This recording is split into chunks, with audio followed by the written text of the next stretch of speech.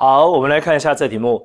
据新闻报道，在烈日下，置于汽车内的塑胶瓶装满水，如凸透镜，会汇聚光线，引起火灾。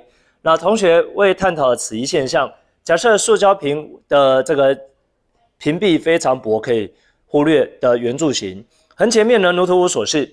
那 O 是圆心，F 是焦点。那现在这些数据都告诉你，下列何者虚无正确？来，这个 T 是周期，周期跟频率不会因为折射而改变，每秒几个波过去就每秒几个波折射。那频率如果不会变，周期就不会变。好，所以来 A 是错的，B 就对了，周期不会变，周期或是频率都不会变。好，那再请看 C，C。哎，他说速度，他说速度，折射什么东西不会变？频率不会变。那再来折射，它会遵守什么？哎，遵守斯奈尔定律。那斯奈尔定律再告诉你，这个东西叫做相对折射率，就是 sin 函数比 sin 塞塔 sin 塞塔 A 比上 sin 塞塔 W 会等于什么比？来，速度比会等于什么比？波长比，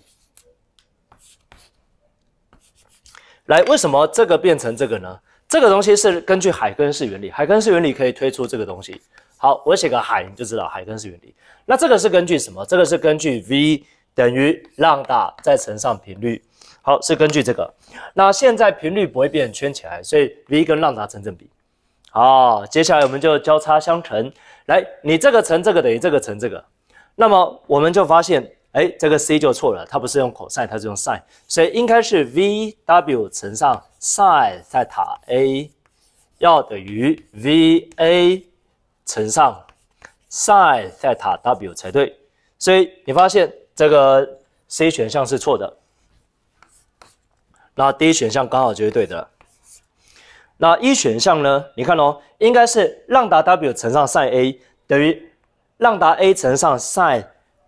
塞塔 W 才对，所以这个是错的。好，所以本题答案只有谁是对的？